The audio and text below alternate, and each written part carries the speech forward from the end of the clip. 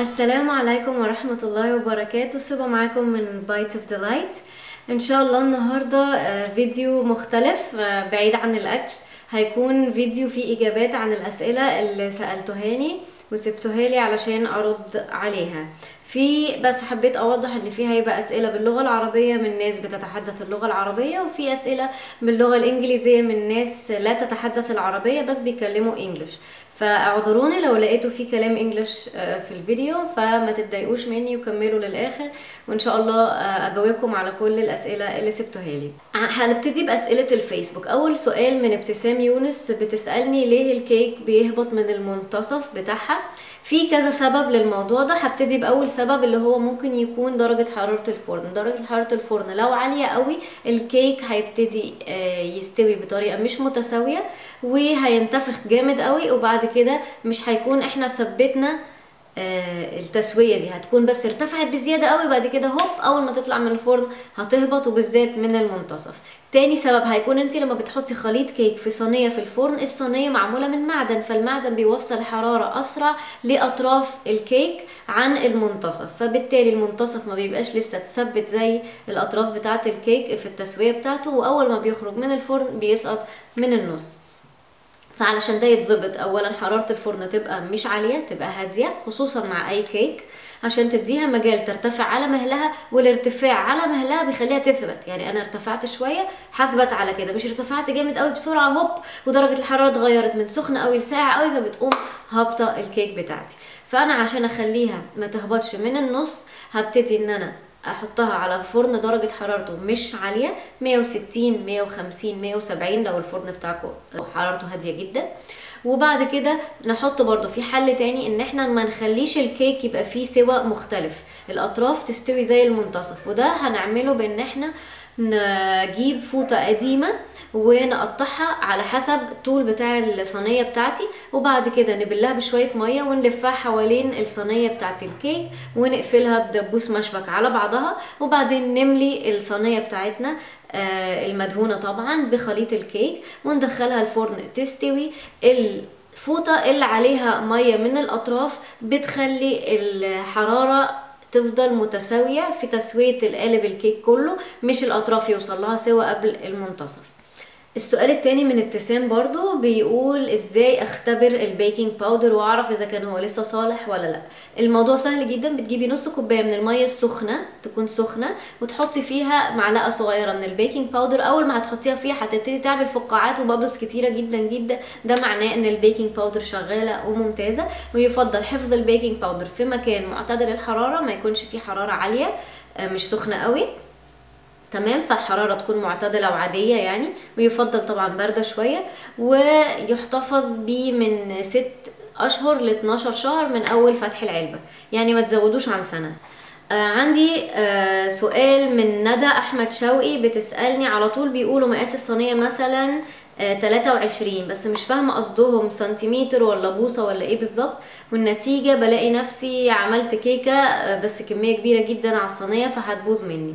تمام. آه السؤال ده لطيف جدا يا ندى وأنا كنت بتساءل على نفس السؤال ده أول ما بدأت أطبخ خالص وأول ما بدأت أخبز. السؤال بسيط جدا ما فيهوش مشكلة. لما بقول لك صينية مقاس 23 بتبقى يوجوالي 23 سنتيمتر. لكن لو قلت لك الصينية بتاعتي مقاس 8 انش 8 انش يعني حوالي 20 سنتيمتر. فناخد بالنا من الموضوع ده لأن البوصة أقل بكتير قوي من السنتيمتر. البوصة تقريبا 2 سنتي ونص.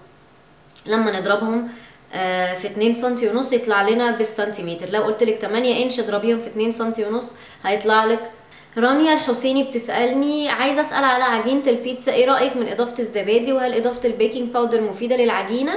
بتعبك معايا يا رب ما اكونش بزهقك. حبيبتي رانيا مش بتزهقيني ومش بتتعبيني وأنا بعتبر إن ده مسؤولية إن أنا أجاوب ضمير وأرد وأخلي الناس كلها وكل ستات البيوت وكل الرجالة الشاطرة كمان إن هي تعرف تطبخ أكل حلو جدا في بيتها تكلفة أقل وصحة أكتر ونظافة ويعني بتحسي بالإنجاز كده لما تعملي مكونات على بعض بتبقى غريبة وفجأة تطلعي أكلة طعمها حلو فأنا مش بزهق خالص. وإجابة على سؤالك عجينة البيتزا إيه رأيي إن أنا أضيف لها الزبادي؟ بصي أنا بحب أخلي الحاجات زي ما اتعملت. يعني بيعجبني إن البيتزا تفضل بيتزا. البيتزا هي عبارة عن عجينة عيش أصلا. ف آه، بحب الشدة بتاعة البيتزا. يعني لما تيجي تقطمي عيش ما بتلاقيهوش هش وفلافي قوي بزيادة. فاهمة؟ العيش آه، معروف إن هو دايما بيبقى فيه شدة كده معينة. فأنا ما بحبش أضيف للبيتزا زبادي لأن الزبادي اولا في خمائر زيادة فبيخلي ال- العجينة هشة بزيادة. هشة بزيادة يعني فيها طريان بزيادة قوي البيتزا ما بتبقاش طرية قوي قوي كده. ده رأيي الشخصي يعني. بس انت كل دي أذواق. لو انت حابة تعمليها طرية قوي قوي كده حطي زبادي. تماما. أنا بحب أحط الزبادي في عجينة المعجنات لأن انت لما بتاكلي حتة معجنات بتبقى طرية في بقك وناعمة كده و... والشدة بتاعتها مش زي شدة العيش 100% تبقى أقل شوية وفيها هشاشة أكتر وفيها طريان أكتر. فأنا بحب قوي أزود الزبادي على عجينة المعجنات مش على عجينة البيتزا. وبحب أضيف ال baking powder ال baking powder بيدي للعجينة برضو زي ما تقولوا springiness أو بتبقى يعني لما تدوسي عليها تطلع تاني كده بطريقة لذيذة جدا بتبقى حلوة قوي مع عجينة العيش حتى العيش نفسه يفضل تضيفي له حاجة بسيطة خصوصا العيش العربي حاجة بسيطة baking soda أو baking powder بتدي له شدة كده حلوة في العجينة وكل الحاجات دي حسب الرغبة. ممكن تشيلي ال baking powder وممكن تضيفي زبادي لعجينة البيتزا ده كله حسب رغبتك تماما. بس ده رأيي الشخصي أنا بحب البيتزا تبقى من غير زبادي. بيبقى ليه قوام مختلف عن المعجنات. أنا بحب دايما الاختلاف علشان دي وصفة غير دي ودي قوام غير دي فلما الناس تدوق دي عن دي بتلاقي في فرق. جوجو فتحي بتسألني عندي سؤال الطبخ بالنسبة لك دراسة ولا هواية؟ ولو دراسة درستي فين في مصر؟ الطبخ بالنسبة لي هواية بحتة أتمنى أدرس. أنا بحب آخد الموضوع يعني حتى أي هواية بالنسبة لي بحب آخدها سيريسلي ما بحبش أتدلع فيها أو آخدها إن مجرد هواية وخلاص بمزاجي. بحب دايما زي ما تقولي أقرأ كويس جدا عن الوصفه اللي بعملها أدور على طرق إزاي عملوها من بداية ما بدأت خالص تاريخ الوصفة إيه وإزاي ابتدت وإزاي اتعملت واسمها وتفاصيل كتير قوي عنها وطريقة عملها من أصل بلدها حتى لو أنا مش بفهم اللغة بتاعتهم بفضل أتفرج وأدور وأفهم وأقرأ برضو على جوجل كتير جدا جدا جدا. بس أنا مش دارسة وأتمنى أدرس آه، يا جوجو عندي هنا برضو سؤال تاني على الفيسبوك من صباح. حبيبتي صباح غربي حبيبة قلبي. الجميلة بتسألني السؤال الأولاني متى ألقاكي؟ يا رب بجد عندي أمل ألقاكي. أكيد بإذن الله في يعني وقت ما ربنا كاتبه. إن شاء الله هنتقابل. حبيبة قلبي شرفني أقابلك وأشوفك وأسلم عليكي وأكلك من أكلي. إن شاء الله يا رب يعجبك إن شاء الله. لو اتقابلنا. السؤال الثاني بتقولي كيف تقضي آه، على فترات المؤلمة في حياتك التي مريتي بيها؟ وكيف نستطيع أن نعيش بمرح رغم الألم؟ أي كيف نعدي الصعاب؟ بصي يا صباح أنا إجابتي هتكون آه، فلسفية شوية وممكن ناس تزهق أو تقول آه، ده كلام في الكتب بس ده اللي أنا ماشية بيه في حياتي يعني وبعمله. لا تخلو الحياة من الصعاب ومن المتاعب ومن الألم لكل حد فينا بتفاوت الدرجات ولكن طبعا الإيمان بالله هي أهم حاجة أهم نقطة. الإيمان بالله وإن ربنا رحيم وكريم ومش عايزنا نبقى تعساء. التعاسة بتيجي من تعلقنا بحاجات ما نبقاش المفروض متعلقين بيها قوي بإن إحنا دخلنا نفسنا في حاجات مش المفروض نخش فيها. يعني بحس إن التعاسة بتيجي من آه، وسوسة شيطان على ظروف خارج إيدينا يعني ما بنبقاش إحنا اللي اخترناها. ولازم دايما نغير النظرة للحاجة إن إحنا شايفينها سيء فقط ليه؟ إن في جزء فيها كويس. واركز بقى على الجزء الكويس. ده مهم جدا بالنسبة لي واللي دايما عايشة بيه. يعني أنا في موقف مثلا تلاقيني زعلانة قوي وبعيط وبتعصب آه وجامد قوي. وفجأة تلاقيني بضحك وخلاص الموضوع خلص وانتهى ومع إنه ما يكونش خلص من جوايا. بس أنا ما بحبش العياط الكتير والاكتئاب الكتير. أحب الضحك والهزار. فيعني تقولي مش مش مفهومة قوي الموضوع ده. بس الضحك والهزار وال- والأخذ الموضوع شوية على نفسي ببساطة بيريحني أنا وبيريح طبعا أي حد بيتعامل معايا بشكل مباشر لأن الكآبة مش حاجة حلوة يعني. مش بحب الكآبة مش بحب الحزن مش بحب الألم يطول. بحس إن ده كده غلط. ربنا مش خالقنا علشان نفضل يعني حزناء وزعلانين. ربنا خلقنا عشان نعمر في الأرض ونساعد بعض كبشر ونساعد آه، نفسنا إن إحنا نعلي رصيدنا عند ربنا. فأنا أعلي رصيدي عند ربنا إزاي؟ وأنا حزينة ومنهمكة في الحزن وفي الاكتئاب وفي الزعل ومش بفكر غير في الزعل وبس. ده كده مش صحي. لا على نفسيتي ولا على علاقتي بربنا ولا على على أي حاجة. ده هيجيب لي اكتئاب وهيمرضني وهيجيب لي أمراض الدنيا كلها وهيزعلني وهيزعل ربنا مني لأنه ربنا مش خالقني في الأرض عشان أفضل حزينة وزعلانة ومكتئبة. دي ببساطة إزاي بعرف أعدي أي فترة مؤلمة مريت بيها في حياتي وأنا شخص بحب المواجهة جدا وبحب الصراحة جدا مع نفسي وإيه الغلط وفين الغلط وأوقف نفسي وأبدأ من جديد عادي يعني. It's never too late to start ولازم نبدأ آه، دايما إن إحنا ن... يعني ما ينفعش أسيب نفسي أحزن. ربنا مش خالق الإنسان عشان يحزن خالص. ربنا خالق الإنسان علشان يعبده ويعمر في أرضه وي وي ويسعده بإن هو يكون كائن صالح. وذريته صالحة والمجتمع من حواليه صالحين والناس مبسوطة في, في المعيشة معاه ومرتاحة في التعامل معاه وهو في نفس الوقت بدون ما يغضب ربنا.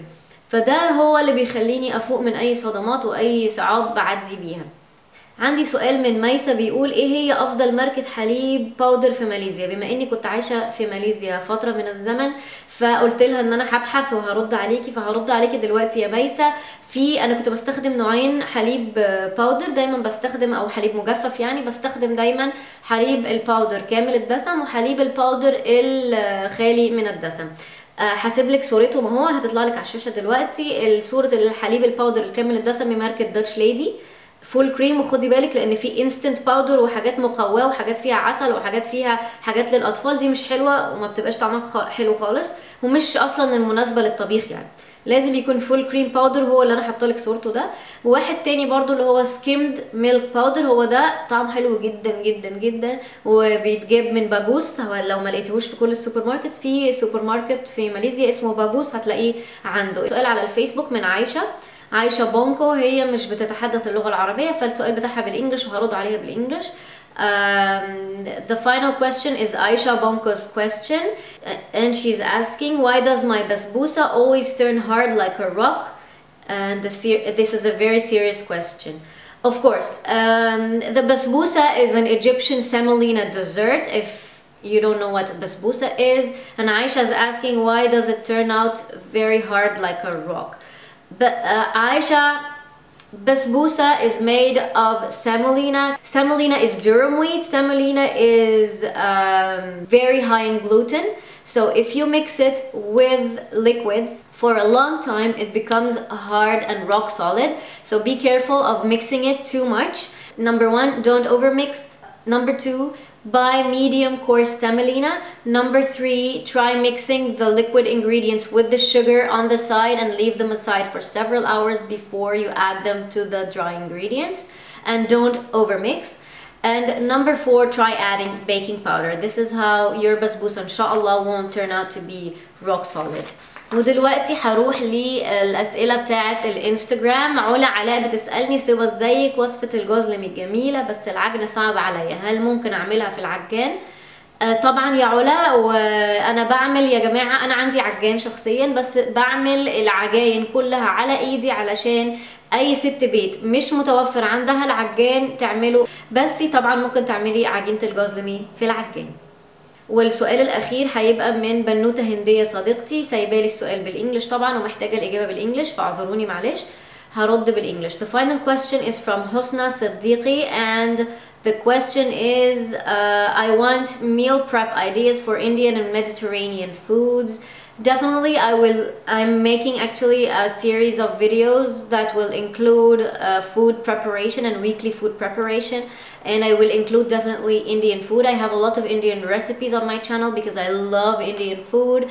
And I would like to greet you, Husna, and thank you for sending me and thank you for following me. I love you and I miss you and I miss our times together. And thank you for leaving me the question. I will soon get to your question and prepare um, Indian and Mediterranean ideas. لأسئلة اليوتيوب عندي سؤال من أكلات متنوعة cooking for fun هي صاحبة القناة أعتقد عراقية وسابت لي سؤال آه شنو الأكلة اللي دايما تطبخيها لعائلتك تكرارا ومرارا لأنها طيبة وسهلة؟ بصي أنا ما عنديش أكلة دايما أعملها لأن أنا شخص ما بحبش الروتين وبزهق جدا من الأكل بسرعة وبحب أغير كتير جدا جدا. ودايما والأكلة اللي دايما بعملها مرارا وتكرارا عشان هي مفضلة جدا عند أهل بيتي المعجنات والعيش. دايما أعمل عيش بيتي خبز بيتي يعني ضر... لازم أعمل الأكلة دي. دي مش أكلة قوي يعني بس هو ده اللي دايما بعمله مرارا وتكرارا في بيتي. وميرسي جدا لسؤالك. آه سؤال تاني بالإنجلش. Uh, the final question from YouTube is from XMW McGregor and he's asking are you married? And yes I am married. I'm very happily married لله تمام دلوقتي هننتقل للأسئلة اللي جات لي على Ask.fm أول حاجة جالي سؤال ما المكان الذي تحلم بزيارته؟ آه مكان أحلم بزيارته؟ مش عارفة. ما عنديش مكان خاص عايزة أكون فيه أو عايزة أزوره يعني بس طبعا عايزة أحج يعني. فيكون هيكون مكة المكرمة عشان آه لونك المفضل وهوايتك. أنا لوني المفضل الأزرق بحب الأزرقات جدا وال turquoise والألوان اللي زي كده بحبها جدا. وهوايتي بحب الطبخ جدا بحب الرقص بحب التنطيط بحب ال ال activities عم بحب السباحة جدا بحب التنس بحب الرسم جدا جدا. عندي هوايات كتير قوي بصراحة يعني مش عايزة أدوشكم. أغلى حاجة في حياتك أغلى حاجة في حياتي ربنا. هو أغلى وأهم حاجة في حياتي. ما هو الحلم الذي راودك ليلا ولم يغب عن بالك ابدا؟ آه ان أنا نفسي أكون إنسانة ناجحة ومتطورة وأحسن آه يعني يعني أحسن حاجة أقدر أوصل لها كصبا ده هو حلمي اللي بيراودني ليل نهار وحلمي طبعا أكون ست business woman ناجحة ويكون عندي ال business الخاص بتاعي. ايا كان هو إيه بس أكون ست ناجحة يعني. مساء الخير. عايزة أعرف معنى اسم قناتك يعني إيه؟ معنى اسم قناتي قناتي اسمها The Bite of Delight للسهولة لأن بالعربي الترجمة بتاعتها تقيلة شوية. The Bite of Delight يعني قطمة السعادة أو القطمة التي تسبب السعادة. The Bite of Delight. ما الوجبة الخفيفة التي تفضلها عند منتصف الليل؟ أنا لا أفضل الأكل تماما عند منتصف الليل ولكن لو جعت أنا شخصيا لو جعت على ميد نايت أو في وقت متأخر مش المفروض أكل فيه يا بشرب مية يا إما باكل خيار أو جزر. أرنب. جالي سؤال ديني فبتقول قيام الليل أبدأ أصليه من إمتى؟ وهل يوجد افضل أفضل وقت أصليه فيه ولا لأ؟ أنا في حسب معلوماتي قيام الليل صلاته تبدا بعد صلاة العشاء تصلي قيام الليل بعد صلاة العشاء. ده حسب معلوماتي يعني فأنت ممكن تتأكدي وتسألي حد متخصص أو دار الإفتاء يفضل. أو تقرأي أنت طبعا بنفسك عن الموضوع. أنت بتشتغلي إيه؟ ده حد سألني. أنا حاليا مش بشتغل بس اشتغلت مليون ألف شغلانة قبل كده. بس حاليا مش بشتغل واخدة ال Bite of Delight هي كل همي وكل شغلي وباخد كورسات كده يعني حاجة خاصة بيا. علشان أطور نفسي وعقبال ما أشوف لسه هشتغل إيه. عندي ده سؤال ديني تاني برضو عندي مبلغ من المال كنت هحطه في البنك. ناس كتير قالوا لي البنك فلوسه حرام والفوائد بتاعته كل شهر برضو حرام. أنا أول مرة أعرف كده. أنا مش عارفة دلوقتي أستثمر الفلوس في إيه بتمنى تفيديني بصي آه برضو ده سؤال ديني فأنا هحط رأيي الشخصي ولكن يفضل تستفتي أهل العلم وتروحي تسألي في دار الإفتاء أو أي حد عالم أكتر مني. البنك طبعا في ناس بتقعد تقول ده زي الربا وحرام و إلى آخره. وفي ناس برضو بتقول إن البنك مجرد زي ما تقولي شركة بتدفع لها بتعمل هي دراسات الجدوى وما بتجيبش مشاريع فاشلة ابدا. لذلك استثمار فلوسك فيها وتحطيها ويجيلك فائدة فائدة على مبلغ كبير. تعتبر إن أنت بتدوري فلوسك وبتشغليها مع زي شركة مش مؤسسة ربا. فلان هي بتاخد منك الفلوس دي برضو ما انت عليكي برضو حجز. الفلوس دي ما تقدريش تستفيدي بيها. أو تاخديها أي وقت أو تسحبيها أي وقت فهم بياخدوها يشغلوها في مشاريع ناجحة ويردوا لك فوائد أكنك في بيزنس ناجح. في ناس هتقول لك لا ده الكلام ده مش صح عشان ال business فيه ups and downs مرة تنجحي مرة لأ. بس يعني دي المفاهيم اللي بتتقال فانت استفتي قلبك واسألي تاني وتالت ورابع وروحي اسألي في دار الإفتاء وشوفي انت هتفضلي تعملي إيه. وطبعا يفضل تشاركي حد في business تجارة يعني حاجات ناجحة يعني وحد تشاركيه علشان الحد ده يكون عنده خبرة أو يفيدك بخبرته وما تخشيش خالص بكل فلوسك. ده اولا تخشي بجزء بس وما تخشيش تماما مع لوحدك علشان برضو دي ريسك كبيرة يعني. تمام؟ حد كاتب مبادئك في الحياة. مبادئي في الحياة حاجات واضحة وصريحة جدا حاجات ما تغضبش ربنا. أستفتي قلبي لما بيكون في لغط كتير على موضوع أو كلام كتير أو رغي كتير على موضوع معين فالأفضل إن أنا أستفتي قلبي. ما تضايقش حد بقصد ولو ضايقته بدون قصد لازم تعتذر وفورا تمام؟ مبدأ تاني بحب أستخدمه قوي اتقن عملك جدا جدا جدا جدا. مبدأ تالت بحب قوي إن أنا أكون شخص صريح وواضح ما بحبش اللف والدوران والكذب وكده فبحب الوضوح ودي حاجة يعني صفة مش مش منتشرة كتير في العالم بتاعنا الناس بتزعل من الصراحة كده على طول بس أنا بحب أقول أنا شخصيتي كده وده رأيي ودي طريقتي ودي أنا كده ما بحبش لا أمثل ولا أكذب دي طريقتي فدي بعض مبادئي في الحياة. أه حاجة كاتب لي شيء يعجبك في نفسك لا الحمد لله إنها أشياء بصراحة. يعني في حاجات كتير بتعجبني في نفسي زي ما في حاجات كتير مش بتعجبني بس أنا بيعجبني في نفسي إن أنا آه، دؤوبة. يعني ما بحبش أبطل.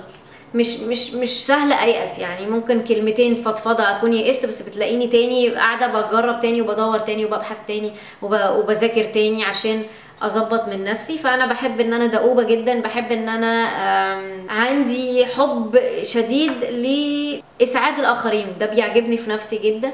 بحب إن أنا مختلفة مش زي أي حد بحب اسمي جدا. دول حاجات بحبها في نفسي يعني. حبيبتي ممكن تفيديني في مجال الإنجليزي؟ هل ممكن أتعلمه من غير ما آخد كورسات؟ ولو تعرفي أي application للتعليم أو قنوات على اليوتيوب يا ريت تقولي لي وشكرا مقدما. حبيبتي أفيدك في مجال الإنجليزي؟ آه طبعا ممكن تتعلميه من غير ما تاخدي كورسات طبعا. أي حد مجتهد يقدر يتعلم أي حاجة بدون كورس ولا بدون أي حاجة خالص. مجتهد وشاطر ويتعب كده مع نفسه ويفضل يعافر. هديلك كده كام point تستفيدي بيهم. أول حاجة في قناة على اليوتيوب اسمها English with Iman البنوتة دي عايشة بره طول عمرها. هي مش مصرية هي تقريبا آه، لبنانية أو سورية أنا مش متأكدة شامي يعني. واللغة الإنجليزية بتاعتها جيدة جدا أكتر من جيدة اكسلنت يعني.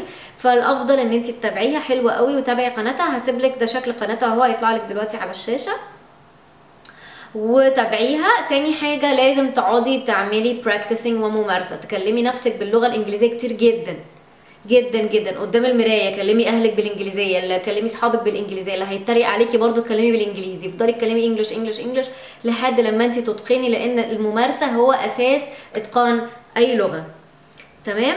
آه، فممكن جدا من غير كورسات لو انت عندك فعلا الكوميتمنت وعندك ال ال ال ال الإرادة إن انت فعلا تعملي ده. سيبا عايزه أعرف أنت خريجة كلية إيه وهل درستي في مجال الطبخ وأنت عايشة في مصر ولا إيه؟ أنا خريجة كلية أنا خريجة أكاديمية السادات آه، بالقاهرة بالمعادي. آه، ال- التخصص بتاعي كان نظم معلومات information systems. ودرست في مجال الطبخ لأ وأتمنى. بس أنا باخد الموضوع زي ما اتفقت معاكم وزي ما قلت لكم باخده سيريسلي جدا. بروح أعمل له حاجة زي دراسة فعلا وبروح أشوف آه، الكلام العلمي عن الأكلة والحاجات دي بتعجبني يعني. بحب أكون فاهمة. وانت عايشة في مصر ولا لأ؟ لأ أنا عايشة خارج مصر مش في مصر للأسف.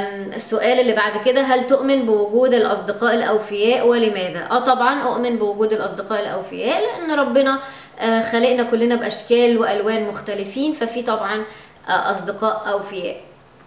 آه، ما هو الشهر المفضل لديك في السنة؟ شهر سبتمبر بموت فيه وبعشقه وده أكتر شهر مفضل عندي في السنة كلها وعشان صيف كمان بحبه جدا. كلمة توصفك. كلمة توصفني أنا شخص مختلف. السؤال بيقول ما هي الأعياد التي تحتفل بها أنت وعائلتك؟ الأعياد المسلمة كلها الأعياد الإسلامية كلها العيد الفطر العيد الأضحى المبارك ويعني الأعياد التانية بقى في مختلف الأقاويل عليها بس إحنا بنحتفل بيها يعني من باب الفرحة والسرور عيد الأم عيد ال- العيد أعياد الميلاد يعني وهكذا. هنبتدي بقى ننط على الأسئلة اللي باللغة الإنجليزية حد بيسألني are you happy right now yes I am thank God I'm very happy الحمد لله Would you rather be able to visit 100 years in the past or 100 years in the future? This is a very hard question for me, so I will pick a number in between 50 years in the past and 50 years in the future, so they would be 100 years in total. So because I'm very curious to see both tenses, what's going to happen in the future and what happened in the past. And what famous person would you like to meet? Oh, I would love to meet a lot of famous people. I would love to meet uh, Gary from MasterChef Australia. Uh, He's a judge on MasterChef Australia. How do you spend the majority of your free time? I spend the majority of my free making videos, watching shows, writing recipes, uh, going out, buying stuff, eh, you know, the usual. What is your favorite season? My favorite season is summer and springish summer.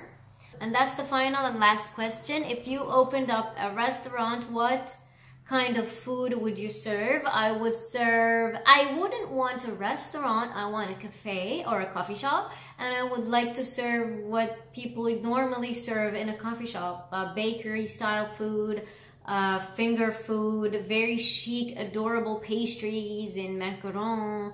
And, you know, these lovely things, those are my dreams. أم، حبيت أشكركم جدا جدا جدا على أسئلتكم وعلى إنكم تفاعلتم معايا وأتمنى دايما تفضلوا متفاعلين معايا لأن هيجي وقت وأنا اللي هسألكم وأعرف كل حاجة عنكم عشان ببقى برضو عايزة أتعرف على الناس حبايبي و... والناس اللي بتنجحني كل يوم ميرسي جدا ليكم واتمنى تكونوا تعرفتوا شويه عليا وسيبوا لي رايكم في التعليقات شكرا thank you everybody thanks for everybody who has left me questions I hope the answers were fulfilling and I hope you got to know me a little bit because because one day I will be asking you questions because I love to get to know you guys thank you very much for following me and sending me those questions please leave me your opinions of this video in the comments below thank you very much for watching bye